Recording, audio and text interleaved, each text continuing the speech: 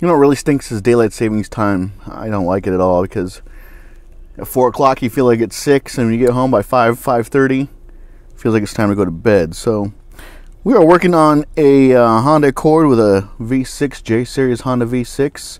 This also cover your Odysseys, your Pilots, your Ridgelines, Accords, your Acura CLs, your Acura TLs, uh, anything with the Honda J Series V6 engine in it. But uh, these are the codes we're getting.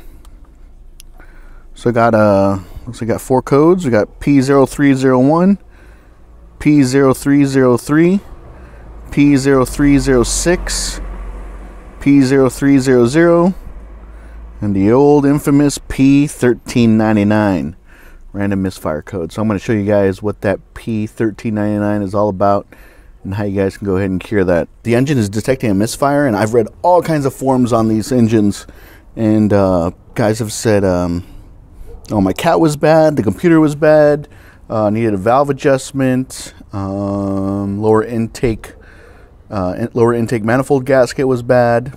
Um, but uh, what this ended up being was a bad fuel injector. Number six had a bad fuel injector. So I actually, if I've already gone in there, I swapped out fuel injectors with cylinders four and six. So I actually swapped them right here and uh, ended up being a bad fuel injector. So I'm going to show you guys how to uh, how to change out a fuel injector. But a couple ways you can diagnose this. Um, I thought at first that it might be a burnt valve, so I did a compression test, a running compression test, and a static compression test. Static being uh, pulled all the spark plugs, coil packs, and uh, went around and put the compression gauge in, and then cranked the engine for about eight to ten seconds. Read the reading. All of the uh, cylinders were good as far as compression. Normal compression on this engine is anywhere from between 130 psi to 165 psi. With the vehicle running, go ahead unplug the coil packs these front three, the back three as well. And when uh, a good coil, if it's unplugged, it'll stumble on, on its face. So I got to the sixth one and nothing happened. I undid the bolt, pulled the coil pack up a little bit, and I could hear the I could hear that the coil pack was actually firing. Then it led me towards the fuel injectors, leaning towards the fuel injectors. Three things an engine needs to run is, is fuel, compression, and spark. I knew I had compression, knew I had spark. Last thing was fuel. So that's why I actually flipped uh, the three, um, the three and six fuel injector. But uh, let me show you how to do that real quick, guys. I've seen a lot of videos where guys will go ahead and take all this snorkel off and everything to get the uh, plenum off. You don't have to do that. There's uh, two 12 millimeter nuts right here. There's two 12 millimeter bolts on the bottom. All you gotta do is take those off, take the uh, bolts off, take the nuts off. The one on the far side doesn't actually come off all the way. You just take those off. Take these off as well. Um, let's see. You have a vacuum line right back here. Sorry for the for the nasty lighting. Like I said, it's daylight savings time. You have to unplug this sensor back here. You have two 10 millimeter, two, two 10 millimeter bolts to hold this uh, hold this on. You gotta take off, and then uh, you're able to get to the fuel injectors. The fuel injector rails, you can actually see them right here. There's one here. There's one here. Um, so let me get you there. I'll probably fast forward this so you guys can see what I'm doing. But uh, these plenum bolts are 12 millimeter. These are 12 millimeter, and the bolts down there are 12 millimeter. You have three nuts, two nuts here, one nut there, three in total. First thing I'll do is I'll remove this vacuum hose way back here.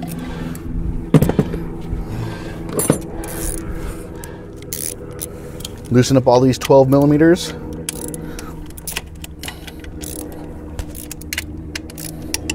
the way you check a coil if it stumbles when you pull it, but it's it's really obvious to hear. You just with the vehicle running, you just unplug the coil packs one by one. You'll feel it get uh, run even more rough than it's already running. That way, you know that the coil and the the coil's getting a signal. The coil's working, and the spark plug is working as well. The one that you pull that doesn't make a difference in the way the vehicle is running, that's your culprit. And then if you want to check for spark within the coil itself, just undo your bolt, pull the coil up a little bit off past the uh, spark plug, and you'll hear a loud, a loud spark. A tick, tick, tick, tick, tick is what it'll sound like. And that way you know the, uh, the coil is actually working. So it's really not that hard. If you guys can... I want to insult your intelligence, but you guys can uh, figure it out. It's pretty easy to do. I could be using air tools to show you guys this, but I wanted to show you guys that anybody can do this with minimal tools. You don't have to invest in air tools to do this.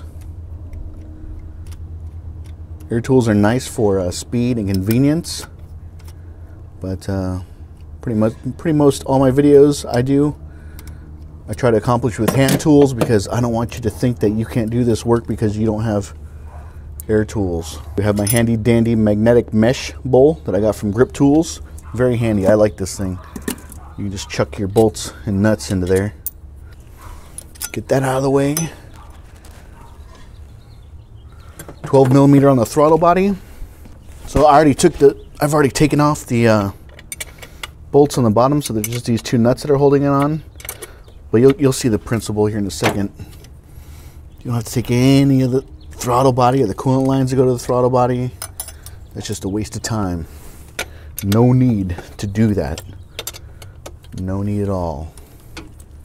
Working on cars, if you're a professional working on cars, it's all about uh, how quickly you can do the job, do it quickly, correctly, get paid, and move on to the next one if you're flagging time. Okay, we're almost ready to pull this thing off. We have this uh, vacuum line to deal with here. Two 10 millimeter bolts hold this on. And then there's a, a uh, steel flange or a steel gasket you have to make sure you have as well when you uh, take it off. Don't lose it back here. And try not to drop your nuts or bolts back behind the firewall. Just makes it that much harder. So you guys can see what I'm doing. Taking off this vacuum line. This vacuum line actually goes to the uh, brake booster. There's one 10 millimeter. I must have read every single Honda Acura form when searching for the P1399. I did the valve adjustment on this thinking it might help it, but it didn't. I'll put a link in the description below where I actually show you how to do the uh, valve adjustment on the Honda V6. So then you pull that back. Here's your metal gasket. Make sure you put that back on when it's time to uh, when it's time to put everything back together. There's only one way it fits. There's a little notch right here. That notch goes that way. So your left hand, come all the way over here. Make sure everything's clear. My vacuum line's clear. Your left hand way over here, pull this up, clear the studs, and pull the uh, plenum towards the uh, passenger side. You're free and clear. Here's your plenum gasket. You can typically reuse this. If it's not cut or broken, damaged anyway, go ahead and reuse it.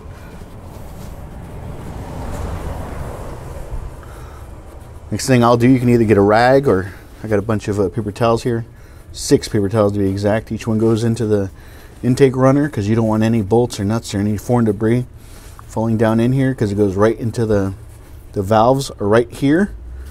It lead right into the cylinder, so you don't want to mess with that at all. Here are your two fuel rails, one here, one here. Your fuel injectors are right here. These are your connectors for your fuel injectors. Now, if you're doing all six of them, you could do uh, you do them ex exactly at the same time. Right down here, and I'll show you in a second. Right here, here, right here, right here, on the back side as well, corresponding. There's um, two. One's right here. The other one is right there. Are two 8 millimeter bolts. There's one right there where my finger's pointing. There's another one right down there. These two front ones are very easy. The ones in the back are a pain. These two back ones are a pain. So I'm going to show you what I did to get that out. This has saved my life uh, many a times. So, sorry if you can't see it. It's kind of weird reflection. It's from Sears. It's Craftsman three-piece socket cap set. Looks like part number is 943303. You can pick it up uh, at, at Sears, at Craftsman. Piece set includes quarter inch, three eighths, and half inch socket. So this thing allows you to do, okay, so way back here, there's a, one of the wiring harnesses in the way. So you got to get it eight millimeter short, right? You put it onto the eight millimeter back here under the rail. There's no room to get a wobbly or an extension or put your socket back there. So then what you do is you take the quarter millimeter, the quarter inch um, adapter, you put it onto your 8 millimeter socket, and then that allows you to take a wrench This isn't the right size, but you'll get the you'll get the concept. You take the wrench and you're able to turn the socket and the bolt as one as one piece, as one unit, and that's how you get this back one on the passenger side out. I was able to get a um, a socket and a and a narrow wrench, if you want to call it, narrow ratchet from Harbor Freight back there for the other one. This is the one that I used on this side. So this is a quarter inch. This is 3 eighths. It allows you to get in there nice into nice and tight spots and break it loose. I'll put I'll put a link in the description below for this and for the Craftsman uh, Craftsman adapter. But this one, if you guys don't have this from Harbor Freight, this is a great tool to pick up from Harbor Freight. No joke. Wish I remember what it's called. Let me see if I have the. So this is big brother. This is the little brother. There's a bigger one to this. Pitt, Pittsburgh Pro from Harbor Freight. Uh, quarter inch and 3 8 drive, 70 tooth mechanism with a quick release. It's called a 14 inch flexible head ratcheting driver. Item number is 67994. 67994. So definitely worth. This is for the bigger one. This is the little brother, but these are definitely worth picking up if you guys don't have them. So, like I said, it was uh, number six that's acting up. I actually flipped them over, put it to number three. So I need to get number three out. The front fuel rail is pretty easy to to take apart. So if you're doing both sides, take out the two or the four eight millimeter bolts, and then this thing just pops up, bloop, and out of the way, and that way you can change out the the fuel injector.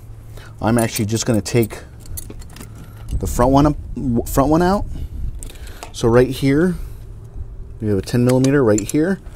You have a 10 millimeter right there. You have to break those loose. Right here is the fuel line that goes into the fuel rail. There's an O-ring in there. There's an O-ring in there as well. And you pop this off, you pop that one off, you lift this fuel rail straight up and out. So break that loose. Don't lose these down. Don't lose these nuts down there. There's one 10 millimeter. Here's another. Right here is your fuel pressure regulator. It's pretty tight back there, so I got me a putty knife. Just pull it loose like that. Get up and out of the way. And don't smoke when you're doing this because you're working around gas. Those are all free and clear. Pull that a little bit out. Put your putty knife in there. Try not to damage the aluminum. Come on, baby. Come on, baby. You're going to grab both ends of the fuel rail. You're going to pull straight up. and that's after I take the two 8 millimeter bolts out. Idiot! Getting ahead of myself here. Also, it's a good idea if you have a magnet to get a magnet be able to pick anything up that falls into the valley of the engine. This is probably the hardest part of the whole job, taking these four 8 millimeter bolts out. Honda likes to use their 8, 10, 12s, 14s, 17s, 19s. What's up, little man? Yeah, come on out here. Please don't let me drop that. Please don't let me drop that. There's the other one. 8 millimeter bolt. Okay, so what I was jumping ahead of before. Take your left hand, take your right hand, get your connectors all off, pull it straight up. There are your fuel injectors for your Honda V6, Acura V6. As you can see, I marked this one. This is the bad one.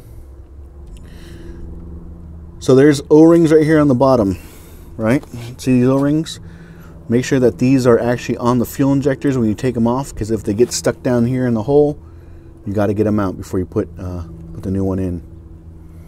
Same with this O-ring right here as well. O-ring here, O-ring here, and then up in the fuel rail itself, there's an O-ring as well. There's an O-ring right here, and then this cap. It's like a little filter. You got to get that out too, or make sure that's in there. So this is the bad fuel injector that caused the P1399 code. What a hassle. What a hassle. It's a hassle, LJ. Hassle. All right, let me get the new one. I'll show you down here real quick. Those are the holes that the injectors go into. Make Make sure there's free of any O-ring, O-ring material or O-ring itself. Here is the brand new beautiful BWD injector from O'Reilly Auto Parts. 63840 is the part number, injector. Brand new, comes with a lifetime warranty. Comes with several different gaskets as well, or O-rings.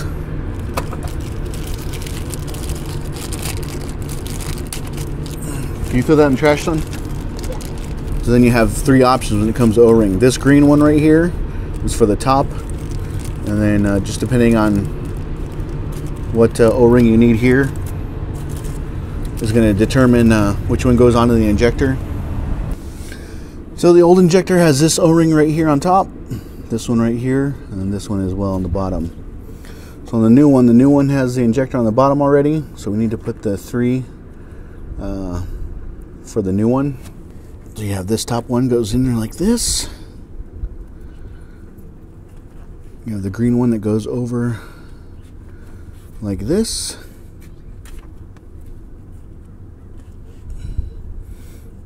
Once you get that on, just spin it. Make sure that's on there correctly. Make there's make sure there's no nicks or cracks or anything. And uh, we'll line up the thickness of this one. Well, you can see it's not that one. That's too thick. It looks like that one will work. So I'm comparing the new the new O-rings to the old O-rings on the old injector. So just match everything up. I'll probably end up doing all remaining five here a little bit. Okay, so next thing I like to do, I need, I want to get some fresh motor oil, put it on top here, put it on the bottom here. That way it goes in uh, nice and easy when you put everything back together. So I'll just take the motor oil, put it on my finger, coat the top O-ring, coat the bottom one as well coat this as well because this o-ring goes into the intake manifold. Okay. So I didn't touch any of the other o-rings. That o-ring is in place that one is in place. So just take your new injector.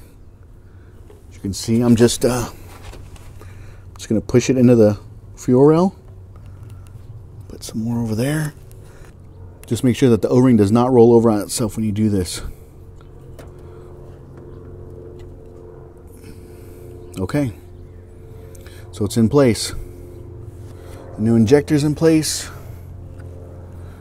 I don't want my oil to spill everywhere, so I'm going to cap that off, get that out of the way. I'm going to push the uh, new injector with the old ones and the rail. Everything goes in as one assembly.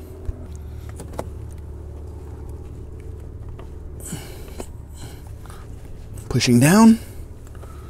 I'll get a flashlight, make sure that everything's in, in, in correctly. Make sure that everything's seated correctly and everything's flush on the bottom, which it is. So everything looks good. Everything looks good. Um, one thing to remember when you put the uh, fuel line back in, put some oil on this one as well as the other one. That way it'll again go in a little bit easier.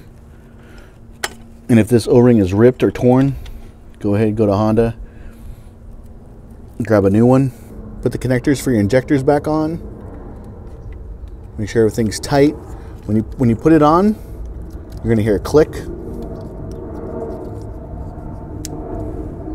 And then go ahead, grab one on the top and the bottom, pull up on it to make sure that it's in correctly. Put your two 8 millimeter bolts back in, put this fuel rail, put this fuel line in as well. Um, I'm not going to bore you with installation. If you've gotten this far, you know exactly how to put everything back together again. If you put in a towel or paper towels down here, make sure you pull all these up before you put the uh, plenum on. You don't want those down there when you put everything, when you install everything back together. But uh, yeah, not too bad, not too hard. Just some patience, some time, and you can save yourself a bunch of money by watching Bundy's Garage. One thing I forgot to mention is once you get the vehicle running, you have the plenum back on, everything's dialed up. Uh, make sure you start the car and uh, let it run for a couple minutes. Uh, make sure you don't have any fuel leaks, especially from these uh, fuel lines that you've taken off. If that O-ring got damaged on installation, you'll see a fuel uh, fuel leak pretty quickly. And if it's leaking fuel, do not drive the vehicle at all. You run the risk of catching the whole uh, whole vehicle on fire. So working around fuel, just be extra careful. And when you put everything back together, uh, make sure you don't have any fuel leaks at all on, on startup. If you have found any of my videos helpful, please consider subscribing to Bundy's Garage on YouTube. Questions, comments, concerns, you can always reach out to me at bundysgarage at gmail.com. You can follow me on Twitter. And like always, I'll keep them rolling for you.